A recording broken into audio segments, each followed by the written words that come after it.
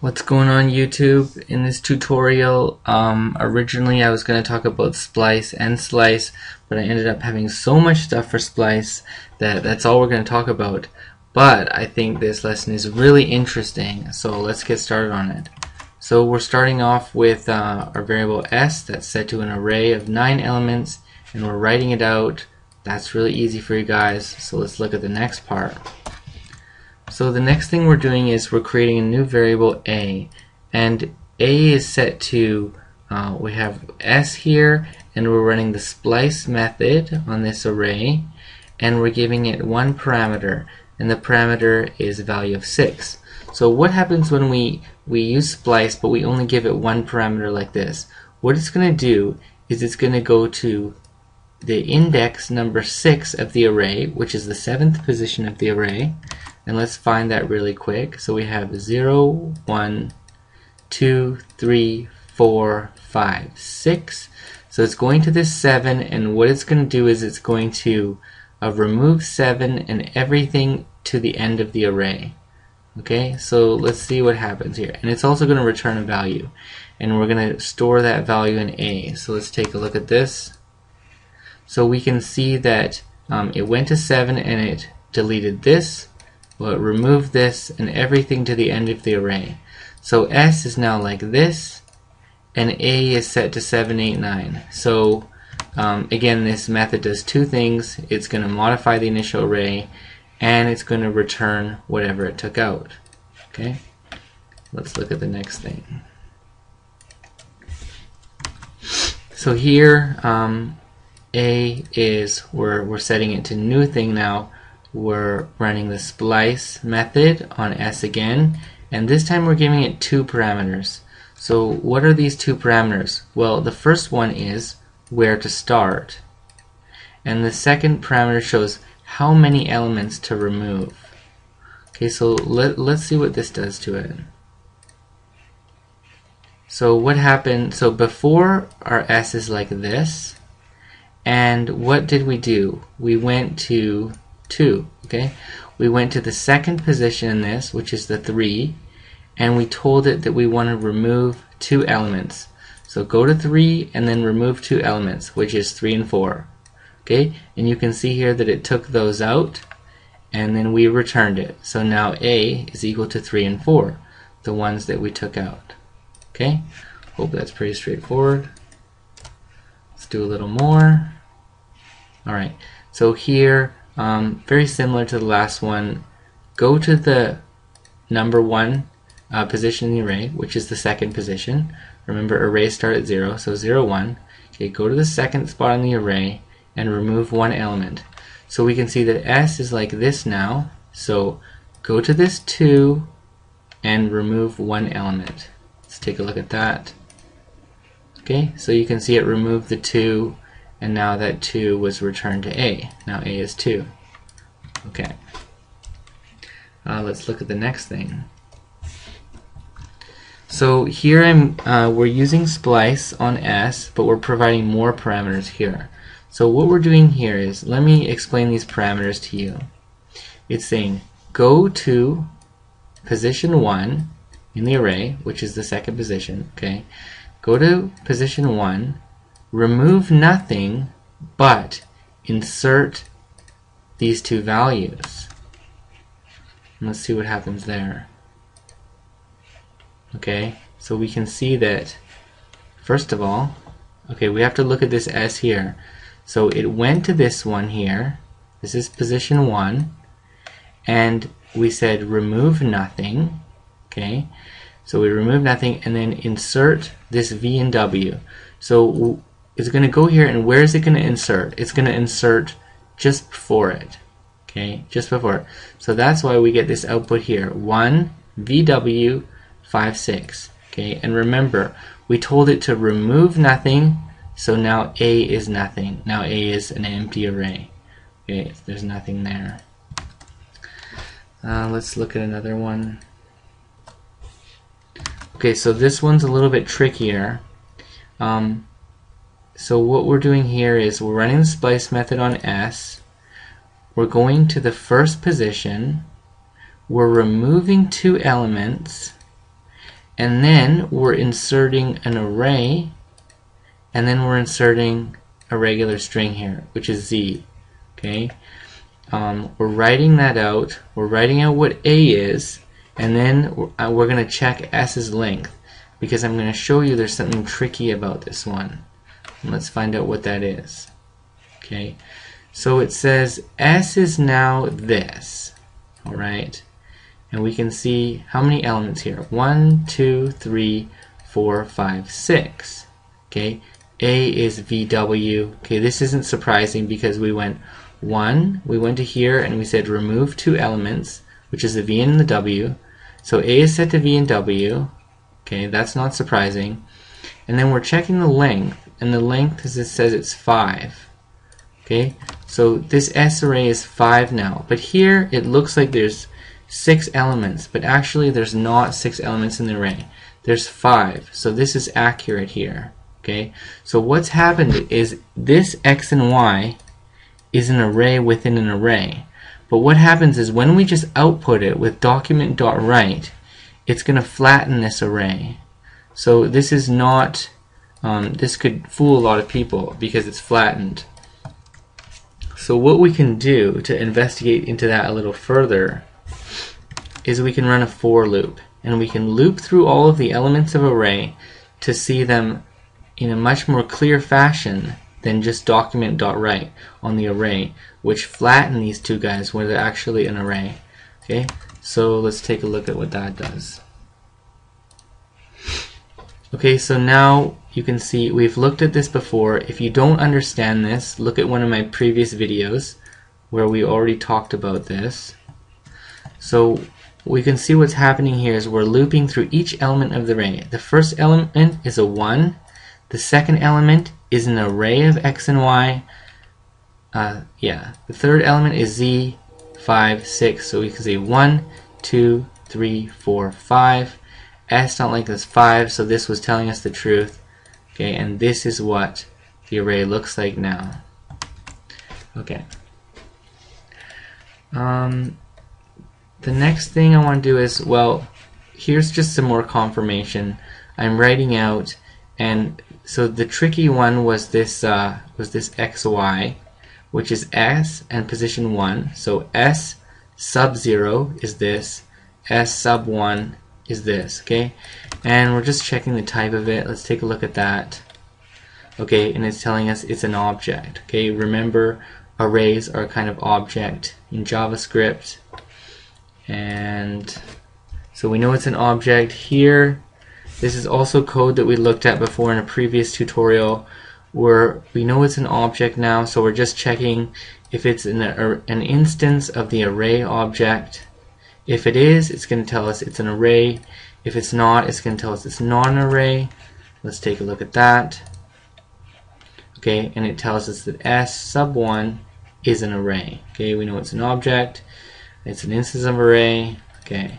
Now, one thing is when I when I first looked at this syntax here, okay, I thought this was a little bit tricky because I just I didn't understand how these were all separated. But basically, this instance of is it's running a function on this array to see if it's true or not. So remember, if what's in these parentheses is true, we're writing this out. So actually, we can write this out in another way if this makes more sense to you we can remove this white space we can leave it so if s sub 1 instance of and this time I just put um, I put this in parentheses here so it looks it shows you instance of as like a function and you'll see that this is just fine too and that's gonna give us the exact same output. Okay? But the usual way of writing it is like this one so I think I'm just gonna delete this. Okay, so when we're checking, running the instance of, you can just write it just like that. Okay, in this last thing, uh, this is a function that, I just wrote out to try to um, show what we can do with splice. Alright, let's take a look at it. So basically what this function is doing, this function I called it divider and it's taking two arguments. It's taking a numerator and a denominator. and we want to return the quotient, okay? But in this function, there's a rule, which is I'm not allowed to use the divide operator in JavaScript. So I have to find another way to do division, but not with the maths divide operator, okay, which looks like this, by the way. So we're not going to use that to do division. So, for example, if the numerator is 10 and the denominator is 3, so 10 over 3, the output that we want is 3 and 1 over 3. Okay. In the second example, if the numerator is 9 and the denominator is 3, well then we're not going to get a fraction, we're going to get a whole number, and we just want it to return a 3, okay, which is the quotient. Okay, here so we have numer array, and that's set to a new array, and how many elements are we putting in the array? We're putting numer amount of elements in the array. So basically in a nutshell, what this function is doing is, um, so for example, if we want to do 10 over 3, we're going to make a new array, we're going to give it 10 elements, okay, and we're going to set whole numbers, we're going to set that to 0, and what we're going to do is this array has 10 elements of it, and we're going to rip away at it, we're going to, we're going to take chunks out of it, chunks of the denominator until this becomes a certain value, until this array become has zero elements in it, or until this array has less than the denominator amount of elements in it. Okay, and that will be more clear uh, once we look at the rest of this function. Okay, so um, here we're we're just writing out the length. Um, okay, now let's get into our loop. So um, bear with me, I'll try to explain this um, as best I can. So basically we're saying, okay, while this numer array exists, okay, you'll notice I have nothing else in these parentheses. That means while this exists, okay, if this if this variable exists, if this array exists, then we're going to run all the stuff under it. If it doesn't exist, then we're not going to run this and we're just going to jump out of the while loop. Okay, so you might be asking, well, why wouldn't this numer array exist? Okay, the reason it won't exist is because I'm going to make it not exist if it uh, reaches some conditions that, that, that I want. So basically, this is going to keep running unless we get to this else if statement where I got what I wanted, then I'm setting it to false. Okay, because I already got all the stuff I want wanted, now I'm setting it to false. And also in this one, I'm setting it to false. So what happens is, if I set this numerator false, then it's not an array anymore, then it's a boolean value, and the boolean value is false. And if, for example, if I just put false in here, then this while loop is then it's not going to run this while loop because this is false. So that's why I set it to false later on in this. Let's just put that back. Alright, so let's see let's see what happens here. So in the beginning, okay, for example, if I'm providing these ones, 10 and 3, in the first one it's asking, okay, is the length of the array greater than the denominator? Okay, so we're going to have 10 and 3 right now. Is 10 greater than 3? Yes, it is. Then we're going to run the splice method on it, giving it 0 and 3. Okay, That means we're going to splice from the very beginning of the array and we're going to remove three elements. So you can see how I'm, how I'm ripping away at the array in chunks. I'm going to the start of the array and I'm taking 3 off the front. Start of the array, taking 3 off the front. And that's how um, I remove uh, remove parts from the array with each iteration of this loop. Okay, and if you don't understand some of this, I encourage you to just stop the video here and take a look at this while loop. Okay, so um, let's just uh, okay, let's talk a little bit more. Let's go to this else if. So what happens? So let's say we're doing 10 over 3. So is 10 greater than 3? Yes, it is. We're running this. Then we're going to take away three elements from the array. Is 7 greater than 3? Yes, it is. We're going to do this stuff. And then it's going to be 4. Okay, Is 4 greater than 3? Yes. then we're going to do this stuff. Then we're going to take 3 away again, and then it's going to say, okay, is 1 greater than 3? No, it's not.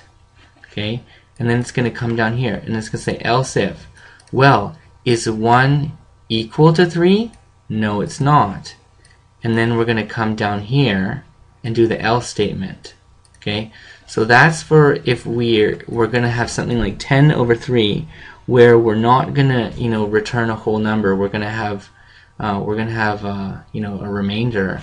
Then when it's a remainder, we're going to do this if statement a certain amount of times, and then we're going to jump down to the else. Okay, but if it's something like 9 and 3 here, okay, let's see what happens with 9 and 3. Okay, okay, is 9 greater than 3? Yes, it is.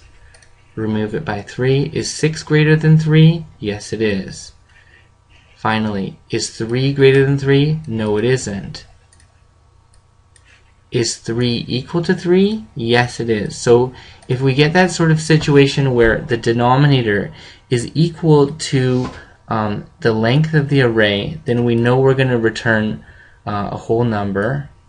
And then we're going to, okay, 3 is equal to 3. And then we're going to run this stuff right here. And at the end of this, it's setting it to false. So that's the last time this is going to run. Because once we're done this final stuff, it's getting set to false. False is getting put in here. While false, that doesn't work. And then it's jumping out. Okay. So just take a look at that code. And uh, let's see. Let's see how it looks here. Okay. All right. Oops. I forgot to do one thing. We forgot to run the function. Okay, so let's start by giving this divider function 9 and 3. Okay, and let's see what that does. Okay, so, um, alright. Numeral length is set to 9. If conditional shows whole is 1, whole is now 1, and length is 6, and then we did it again. Whole numbers is now 2, and the array length is 3. And then we jump down to the else if statement, this one. And the else if conditional shows the length is now 0. And then we did this final thing. 9 over 3 is equal to 3. Alright, which was this stuff right here. Okay, oops. Um, yeah, this one here. Okay, so 9 over 3 is equal to 3. And we can put other stuff in here. We could put a 12, and we're going to get 4. Okay. So this just kind of shows you um, how we could use splice just to remove things of an array and actually do division with it. Um, let's do it with our 10 and 3 that we were talking about before. Alright, so here we can see that we did that if statement three times and then it was 10 over 3 so it did 9 greater than 3 or sorry 10 greater than 3 7 greater than 3 4 greater than 3 and then we we brought it down to 1 1 great is 1 greater than 3 no it's not. Is 1 equal to 3 no it's not. That's why we went down to this else so you can see three ifs and then an else statement okay? And we still we still we still get the right answer. 10 over 3 is equal to 3 and a third and we could do any sort of thing like that. We could do we could just do a 4 okay? 4 over 3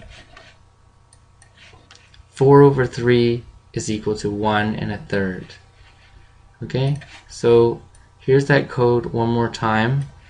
Um, I don't know if I did a very good job explaining this but hopefully you can just look at the code and you can understand um, how Splice worked in this situation. Okay, thanks a lot for listening.